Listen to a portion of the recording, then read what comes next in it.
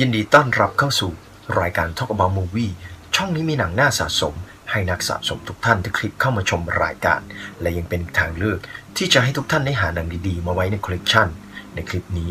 ผมจะพาทุกท่านย้อนไปในปี 1998 กับภาพยนตร์ฮอลลีวูดและเป็นภาพยนตร์ลูกผสมระหว่างฮอลลีวูดและหนังฮ่องกงและภาพยนตร์เรื่องนี้เป็นภาครีเมค หรือภาค spin-off ที่สร้างต่อจากหนังต้นฉบับในปี 89 และนำมาฉายในปี 1998 แค่เลขของปีก็คล้ายกันแล้วครับ ภาพยนตร์แอคชั่นน่าสะสมในคลิปนี้ที่ผมจะมาแนะนำให้ทุกท่านได้ไปหามาชม ก็คือภาพยนตร์เรื่อง The Replacement Killer หรือชื่อไทย นักฆ่ากระสุนโลกันตร์ในปี 1998 เรื่องราวเกิดขึ้นหลังจากที่นายตำรวจหนุ่มกำลังล้อมจับ การค้ายาเสพติดโดยลูกเจ้าพ่อมาเฟีย ในเหตุการณ์ครั้งนี้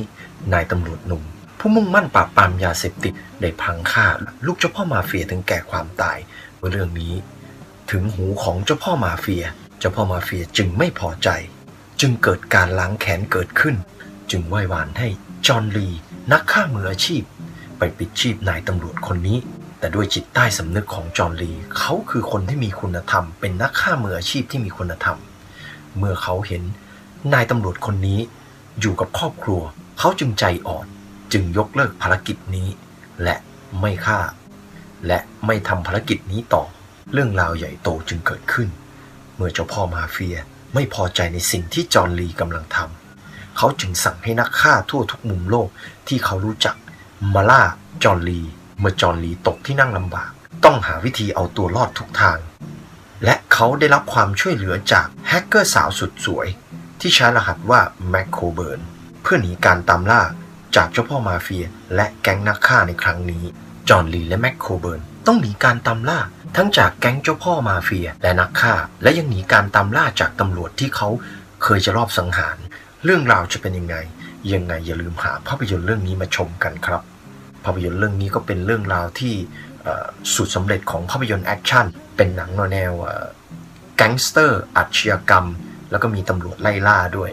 ภาพยนตร์เรื่องนี้ยังสร้างเพื่อรำลึกถึงหนังของจอห์นวูในปี 1989 แล้วก็หนังสไตล์ของจอห์นวูภาพยนตร์เรื่อง The Replacement Killer หรือนักฆ่ากระสุนโลกันตร์ในปี 1998 คือภาพยนตร์ภาค spin-off ที่แยกออกมาจากภาพยนตร์เรื่อง The Killer ในปี 1989 ผู้กำกับอันตวนฟูควา อยากที่จะทำภาพยนตร์เรื่องนี้ลำลึกถึงหนังมาเฟียฮ่องกงในยุค 80-90 จึงหยิบยกผลงานของจอห์นบูมารีเมคในแบบฉบับของตัวเองโดยใช้ชื่อ The Replacement Killer และเป็นภาคสปินออฟในส่วนของปี 89 นั้น ตัวละครก็คือตัวเดียวกัน ต้นฉบับนี้ตัวละครจะชื่อเจฟลีในฉบับ spin-off เนี่ยเขาใช้ชื่อว่าจอห์นลีจริงๆแล้วมันคือเรื่องราวที่แยกออกมาจาก The Killer ครับ ในส่วนของฉากแอคชั่นนี้ไม่ต้องกังวลครับ ดูยังไงก็สนุก หยิบมาดูกี่รอบก็สนุก เพราะภาพยนตร์เรื่องนี้คงไม่พูดอะไรกันมากมาย นอกจากพูดกันด้วยลูกปืน ในแบบฉบับของหนังจอห์นวูแต่กำกับโดยแองตวนฟูควา และเป็นภาพยนตร์เรื่องแรกที่แองตวนฟูควา หยิบยกมากำกับก่อนที่ เขาจะดังและมีผลงาน ภาพยนตร์แอคชั่นขึ้นหิ้งหลายเรื่องสำหรับคอหนังแอคชั่นฮ่องกงแล้วก็คอหนังแอคชั่นฮอลลีวูด ผมว่าภาพยนตร์เรื่องนี้เป็นภาพยนตร์ลูกผสมที่น่าสะสม และหยิบยกมาดูทีไรก็ยังสนุก และยังมีอารมณ์ร่วมกับฉากแอคชั่นในภาพยนตร์เรื่องนี้ได้ตลอด ภาพยนตร์เรื่องนี้เขายังดึงจอห์นวู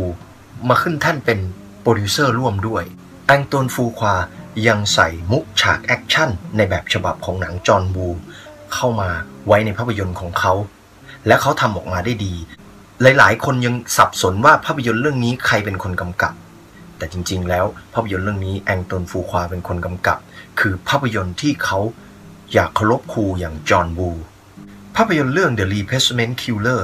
นักฆ่ากระสุนโลกันในปี 1998 นำแสดงโดยโชยุนฟะ มิราซอร์วิโน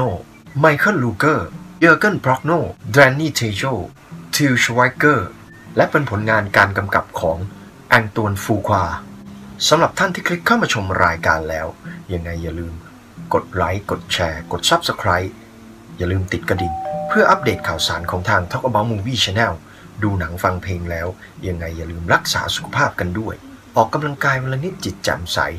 ดูหนัง ดูละคร แล้วย้อนมองดูตัวเราเองสำหรับคลิปนี้ สวัสดีครับ